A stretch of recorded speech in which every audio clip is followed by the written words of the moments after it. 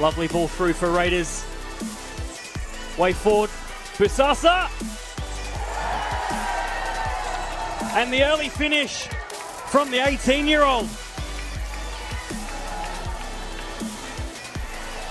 is one on one with Oxenham. Unselfishly. And Oliver Trimboli gets the winner for Croatia Raiders. Mistake from Oxenham gives them the win. And there's the whistle, full time here at the Croatian Sports Centre. 2 0 the way the home side, courtesy of Frank Busasa and Ollie Trimboli coming off the bench.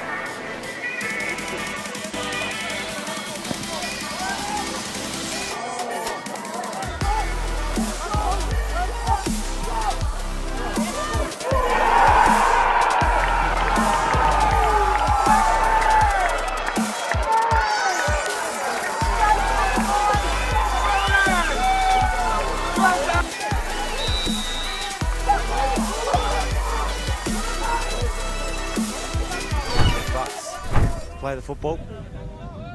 Nice little ball from Irabona. Just no one to claim it as we see Garrido.